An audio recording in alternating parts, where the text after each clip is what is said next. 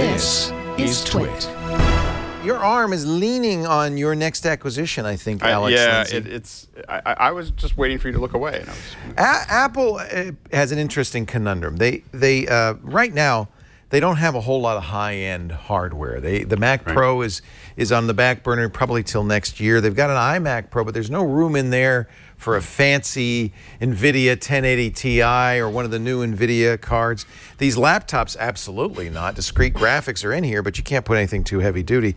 So they've done something interesting. I think even in the Windows world, you're starting to see this external graphics processors. And they only made sense when Thunderbolt 3 came along because Thunderbolt 3 has finally enough throughput, 40 gigabits a second, that they could actually what they, they, they, they go out, they send the process to a GPU externally, and then it sends the data back. Is that how it works? yeah, I mean, it's it's basically like being on the board, except that it's not on the board. Right. It's fast. You finally have that connection, and the the big advantage is, is now you can have a laptop. You can have you can do your laptop stuff when you're traveling. You come home and you have the power of a desktop. Right. I mean, that's the real opportunity, and it, it- you know if the app applications will are able to take advantage of the e, eGPU. For $700, Apple sells this. They sell it exclusively. It was designed by Blackmagic. It has a very Apple-y look. This is the Blackmagic eGPU.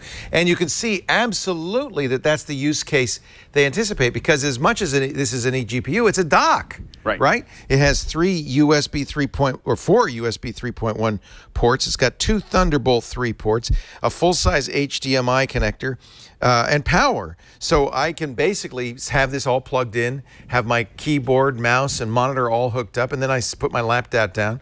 The laptop just plugs in with a short Thunderbolt 3 cable, and, And now, now you're powering the laptop and you're Charging well, powering it and Everything. connecting it to everything in the room Right, and every, right. everything you need. Yeah. So I could see the. Uh, in fact, that's the main reason I got this. I thought, well, this will be great for uh, the studio when I get in with my laptop. I just plug it in and it's ready to go. We can put it on the air and everything.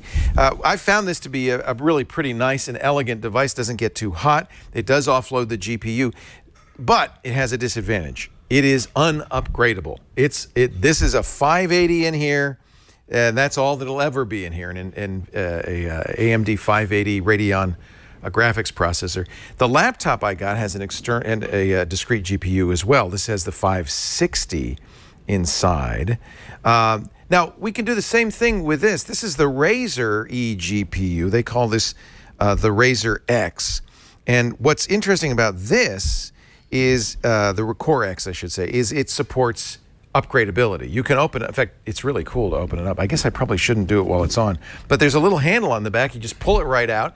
There's one big slot. You can put anything you want in here. You can even put, if you're using Windows machines, NVIDIA cards. There's room for it. It's a PCI Express slot. Uh, the reason I say if you're using a Windows machine is the drivers for Apple and NVIDIA. Well, they don't. well, don't Apple along. doesn't Yeah, officially support NVIDIA. That's right? correct. That's correct. Why is that, Well, Alex? the, the, the big issue is is that the operating system, the, the OS 10 operating system, um, really focuses heavily on uh, GPU or, or OpenGL and now and now Metal and so on and so forth. And so the, the, the issue that Apple has is that there's so much of their operating system needs the graphics processor that they want to write all the drivers. NVIDIA.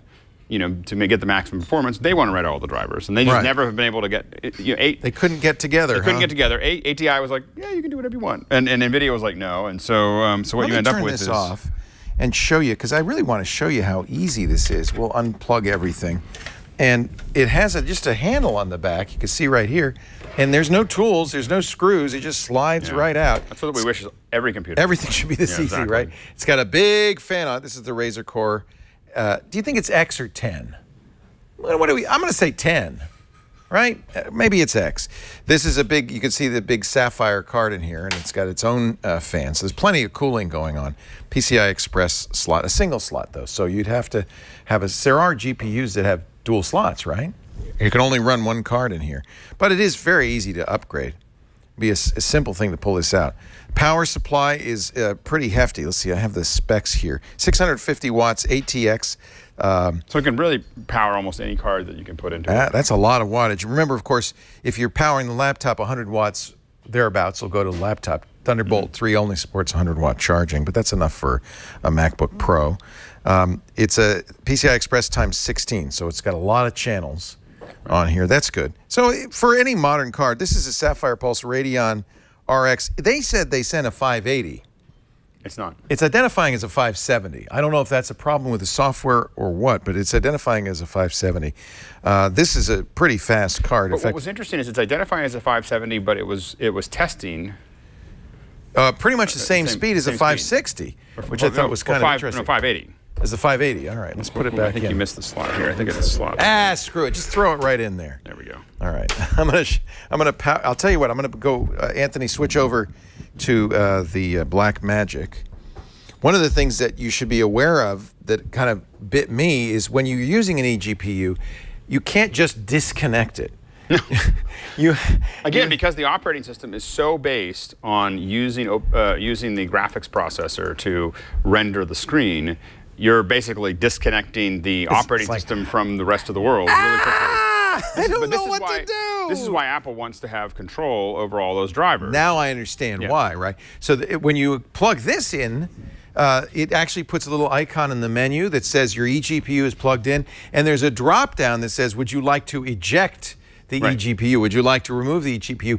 And if you just pull it out, it'll go, "No, no, no, no, no, no, no, no, no! Don't do that, please." Here, I'll show you as as uh, it's. I rebooted this machine so you could do it, and I don't know. Can you see, Anthony? You can. So here's the little disconnect AMD Radeon Pro 580 and and you better do that before you disconnect it. And by the way, it takes a while because it's in effect logging out and logging back in. It's shutting every process down and then logging back in to do it. Let me show you some of the benchmark results we got. We'll start. Uh, we both. I, I I just to see. I ran a uh, Cinebench R15 and got a frame rate of nine. This is with the internal uh, uh, Radeon 560X in the uh, notebook. 96.74 frames per second. That's more than adequate as far as I'm concerned. Yep. That's a nice speed. But let's look at the Geekbench because Geekbench actually takes a look at the uh, uh, raw processing power built into the GPU. This is the Intel motherboard GPU that comes with this MacBook. 20, just to give you a base score, the OpenCL score of 22,078. 22,078. Now let's uh, take a look at the 560. That's the internal card in here. It's a lot better. 59,683. So that's um, almost three times. That's why you never want to use a Mac Mini for anything that requires Yeah. GPU. you, you really want a discrete, Yeah, a yeah. discrete GPU. Uh, let me try the uh, the 570.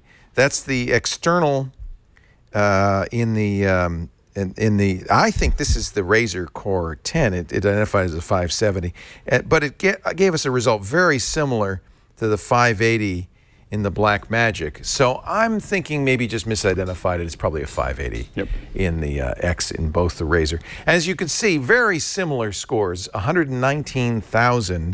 119,837 for the Blackmagic, 119,190 for the Razer. And for 10. some applications, they're going to be able to take advantage of all of those GPUs. They're not going to simply be just the fastest one, which is twice as fast. It'll be, it'll take, uh, you know, something like a photo scan, which which I use. Will say, well, I'll just look at all of these and start using. It actually can CPU use and- the Intel, the discrete GPU inside the laptop, and the external GPU. Yep. In fact, I'm running iStat Pro here, and you can see we can see uh, if I look at the I see the Radeon 560X and the 580. Uh, both are available. In fact, both even get used a little bit. That's the memory uh, use right and I now. think that if you plug this one in, you'd get. you think I could use it. all three? I think you can. Should we try it? Come on, plug it all in and let's just see. Let's go crazy. I mean, that's the good news about having multiple Thunderbolt 3 ports. Uh, chat room, is there any reason why I shouldn't do this? The chat room's not going to tell me. They're going to say, no, go ahead and do, Do it, it, Leo. man, do You- it. Even if they know it's a bad idea. All right, now I have. Do I is turn that it on? powered up? Go ahead, power it up. Now I have possibly an, a, a, a 580 here, a 580 here, internally a 560, and I don't know, maybe even the Intel Iris Pro graphics. I wonder if it'll use all of those. Um, do I might need to reboot to really have it see everything, but you can see there is a huge difference. The internal GPU, the Iris Pro 22,000, whatever that unit is on Geekbench, uh, and once we put an eGPU in here, 120,000. And possibly 240. That is, you think? Going right. to infinity and beyond. All right, we're gonna we're gonna time lapse this because it's gonna take me a little while. I'm gonna restart the machine. So watch as I wave my hand. Machine, restart.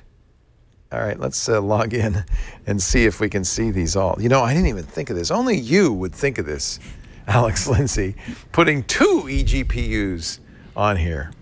Well, it did occur to me with this one has two uh, Thunderbolt th- or Thunderbolt threes, so you could theoretically have like Oh, three of these in your chain. office. I could do daisy chain more. them and just have them all sitting. I don't know where The key would be out. that the software was smart enough to it. thread out to all the GPUs. Yep. Most software is, most software probably doesn't assume. But if you were buying you three of those, you might have software that could do it. All I'm saying. you could afford that kind of software. Uh, all right, let me just uh, see if iStat even uh, sees all these uh, GPUs. Um, well, lo and behold, it does. Yep. I now have a 560X, an RX 570, which, by the way, we think is the misidentified 580 in the Core 10, and the Radeon Pro 580, which is in the Blackmagic eGPU. Uh, now, unfortunately, Geekbench won't let me try all three of them at once. I think Geekbench only lets me choose one core.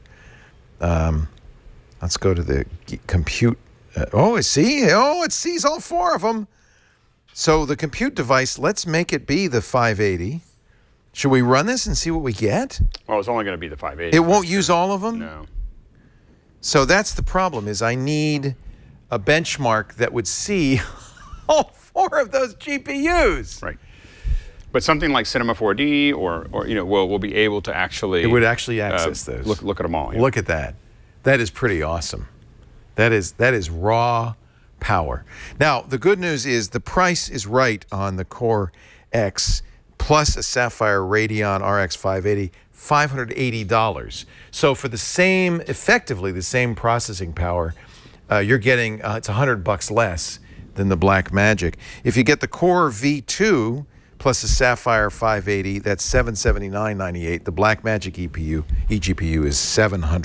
Now, and the one thing that this one doesn't have is all of those extra connectors. So if you want to use this as a hub, It's a great the Black dock. Magic's a better Yeah, dock. it's a great This one, this one is pure GPU. It You've does got- have uh, a couple of HDMI ports and some uh, display ports as well as So a this one- VGA port for so, some reason. So I would say, or, or this is a DVI, I think. oh, is Um, that DVI? Okay. it's hard to remember now. We we never see them. I never saw that. So it's like What is uh, that? you know, um, but the if I think if you want to put a bunch of monitors and connect it to it, this one's going to be a better one. Yeah. Um, it looks like up to four monitors that you could hook to it. Um, this one's going to be better if you're going to use it as a dock. Right. And you can daisy chain monitors on Thunderbolt, right? I mean, there's enough. Uh, Maybe not. Uh, you should be able to. Should be, right? Yeah. Yeah. Uh, we only got 100, the OpenCL score 116,903. So, in fact, it's a little bit slower for some reason when I have all of these hooked up. That might be an overhead problem. Right. But a Geekbench doesn't, in fact, give me a chance to test all four. But we do see all four, and if software were able to use all four, I think we need to get two more. Put them on the other side. I mean, if two work, four must work even better. I, I think there's no limit because we can daisy chain uh, till the cows come home. We just need to. Well, we should get eight or ten and hook them up and see how it goes. I think in, an eGPU. By the way, this is three hundred dollars unpopulated, but you, there's no point in unpopulating. It's not as fast. Yeah, It's it really doesn't run as quite as well without a video card. But it does give you the choice of the video card. The other advantage this has, besides being a little less expensive, the Razer Core 10 is upgradable. So when a new video card comes out from Radeon, you can use it and it'll work. You know, presumably if Apple provides the drivers. Apple really, I think, wants this eGPU system to work. I think they're going to always support additional cards uh, because this adds so much value to its MacBook Pro and its iMac line. They built in eGPU support uh, last generation uh, of Mac OS. So clearly, this is something Apple will support. uh, And I, and I do think that as we start to, uh, a a lot of metal, to, you know, with metal and so on and so forth, I think you're going to see them take full advantage of those. Yeah. Those um, systems. One last question: How loud is that? Is it is, is can you hear it? I can hear it, but barely. It's not bad. The nice thing about the Blackmagic, it's very, very quiet. They've really designed this for studios, Mm-hmm. recording studios, and places where you just didn't want to hear a lot of fan noise. And again, like the, the, the, a- a good use for this will be 360 development um, inside of like Final Cut. If you're doing that, you need to render that out. That's all using GPU. Well, another way they're promoting this, you can plug a Vive HTC Vive headset into Right. this and run whatever whatever Steam software will run, VR software will run on the Macintosh. Run it with this. This is finally uh, Apple has access to the HTC Vive, so that's another good reason to get the eGPU. I'm kind of I kind of like it. It's just a pretty little device It's pretty. there. Yeah.